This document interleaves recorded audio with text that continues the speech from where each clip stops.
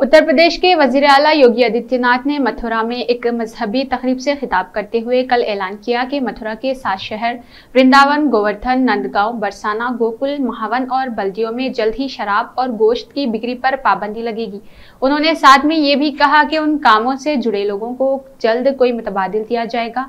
अपनी हुकूमत के आखिरी दौर में यानी असम्बली इंतबात से चंद माह पहले ऐसे ऐलान करने का मतलब साफ़ है कि ये सियासी नज़रिए से दिया गया बयान है। और अपनी हिंदू मजहबी रहनुमा की शुबिया को मज़बूत करना उसका मकसद नज़र आता है। वैसे लोगों में भी ये सवाल किया जा रहा है कि नरेंद्र मोदी का वजी के लिए इंतखब गुजरात मॉडल के लिए किया गया था और गुजरात में शराब पर पाबंदी है। तो बीजेपी के इकतदार वाली दिगर रियासतों में भी शराब पर पाबंदी आयद होनी चाहिए। यह भी कहा जा रहा है कि गुजशत कई सालों के दौरान हिंदुस्तान में मजहबी शिदत पसंदी में शदीद इजाफा हुआ है और इसकी वजह से समाज में बेचैनी पैदा हुई है।